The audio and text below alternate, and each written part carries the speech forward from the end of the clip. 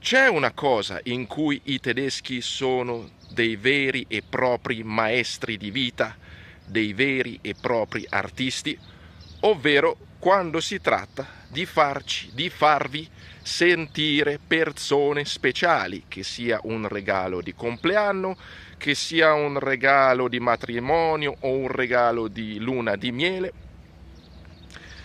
Non sono dei semplici regali, sono delle vere e proprie dichiarazioni di amore, dichiarazioni di amicizia, amicizia però speciale, amicizia veramente forte. E questo aspetto qui va a cozzare completamente con lo stereotipo del tedesco freddo.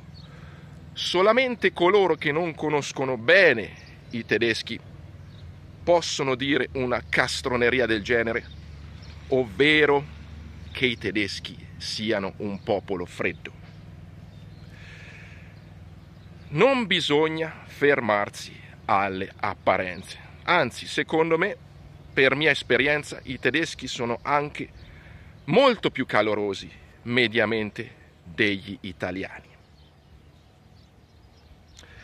Se dite una castroneria del genere, ovvero che il popolo del Deutschland è un popolo freddo, vuol dire che siete degli asociali, che non sapete integrarvi, che vivete in Germania magari con i paraocchi, senza uscire dalla vostra realtà fatta magari più che altro di conoscenze italiane.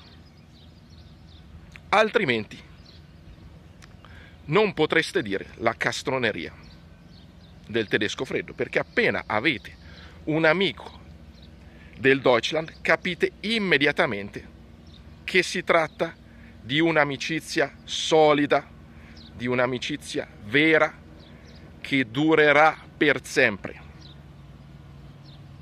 Coloro che dicono appunto che i tedeschi sono freddi vuol dire che non li conoscono, vuol dire che vivono in Germania appunto senza approfondire, senza voler conoscere la cultura tedesca, i tedeschi. Vivere con i paraocchi, vivere di stereotipi è la cosa più brutta, secondo me, che ci sia al mondo. Se scegliete di andare a vivere in Germania,